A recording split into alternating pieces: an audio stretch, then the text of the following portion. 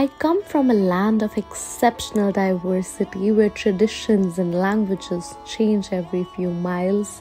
We celebrate festivals big and weddings bigger.